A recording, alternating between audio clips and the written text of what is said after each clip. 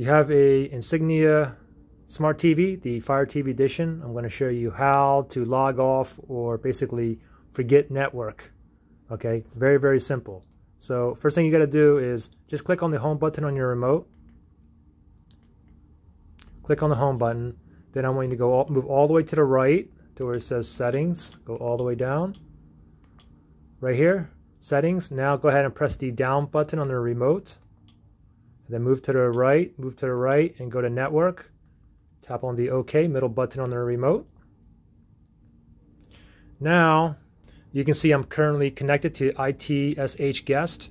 Now if I wanted to forget this network or log off, look on the uh, right hand side there. It says forget this network.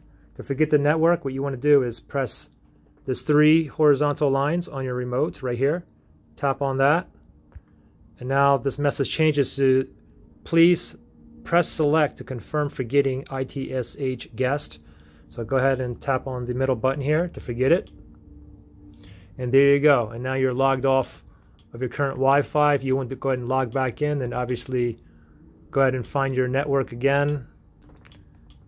Let's go down to see all networks. And now here's my ITSH guest again. I can press on that, put in my password, and log back in uh, if you wish. So pretty simple to do. Any questions or issues, just comment below. All right, see you in the next one. Bye.